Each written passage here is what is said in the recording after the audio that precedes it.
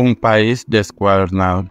El país está descuadernándose y el presidente y sus ministros son responsables de que esto suceda. Es hora de escuchar y mostrar empatía no solo con los delincuentes, sino con gobernantes, empresarios y ciudadanos, que somos quienes pedimos que se frene esta violencia. Columna de Diana Giraldo para Semana. Miente quien diga que en Colombia la seguridad no se ha deteriorado. Todos los días despertamos con un nuevo atentado el asesinato de un uniformado, panfletos con amenazas en algún lugar del país y hechos que parecían olvidados, como lo ocurrió en Convención Norte de Santander, donde hombres armados entraron a la sede de la registraduría y se llevaron a Camila Suárez Galván, quien fue liberada tres días después, hecho que no ha sido reclamado por ningún grupo armado, aunque en la zona operan el ELN, las disidencias de la FARC y un reducto del EPL. No es este un caso aislado, en los últimos meses han sido secuestrados en norte de Santander el avicultor Evangelista Borges de 75 años, al igual que Elkin Nuriel Sánchez Flores de 29 años y Ana Yive Payares junto con su esposo Héctor Julio Sánchez, sacados a la fuerza de su negocio el mediodía del 21 de julio en Ocaña. En Cesar fue secuestrado hace dos meses el ganadero Sanín Mena de 87 años. En lo que va del año se han registrado 160 secuestros, lo que significa un aumento del 90% en las cifras de esta abominable práctica criminal. Al 15 de julio se registraron 87 masacres y hay un aumento en las cifras de hurtos de 18%.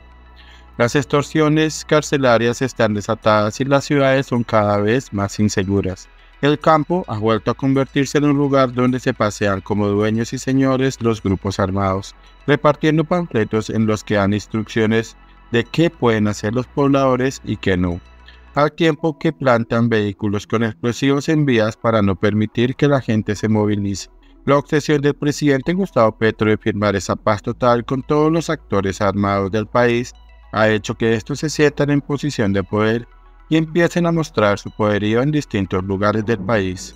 Los grupos ilegales están envalentonados, queriendo mostrar que mandan y que pueden someter a la fuerza pública y a la ciudadanía cuando quieran, como una manera de obligar al gobierno a sentarse a negociar, mientras desde el gobierno se sonríe a los grupos ilegales insistiéndoles en su voluntad de diálogo, desechando la veracidad de las denuncias del fiscal general de que el NN quiere matarlo pero dando credibilidad a la palabra de esta guerrilla, los gobernadores de todo el país, agrupados en P departamentos, manifestaron sentir que es imposible hablar con los ministros y el presidente. En un comunicado encabezado su firma por Roberto Jaramillo, gobernador del Quindío y presidente de esta agremiación, los gobernadores hacen un listado de las distintas situaciones de inseguridad que viven en cada una de las regiones y piden al gobierno que los escuche y que corrija los errores en el diseño y la implementación de la paz total, para que ésta no sea aprovechada por los grupos ilegales como estrategia para hacer más daño en las regiones.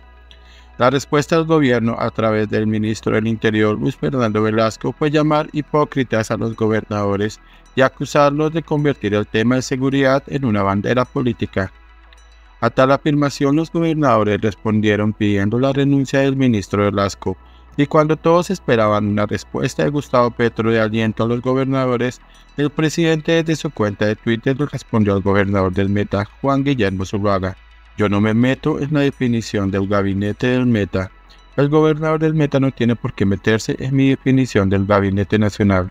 Una respuesta que deja claro que al presidente en realidad no le importa el sentir de los gobernadores. Lo que está pasando en el país es en verdad angustiante. Cuando Gustavo Petro anunció su intención de buscar esa paz total, la ilusión de lograr un país sin conflicto alentó a muchos, pero el precio que estamos pagando los colombianos por esta obsesión es demasiado alto. Colombia está regresando de manera acelerada a los tiempos en los que sentíamos que no había institucionalidad, que nuestro país estaba a merced de delincuentes y que vivíamos con miedo pedir que se preste atención a lo que sucede en los distintos departamentos donde las luchas por el dominio territorial de los grupos ilegales están siendo el escenario de enfrentamientos en los que la población civil sigue siendo la más perjudicada.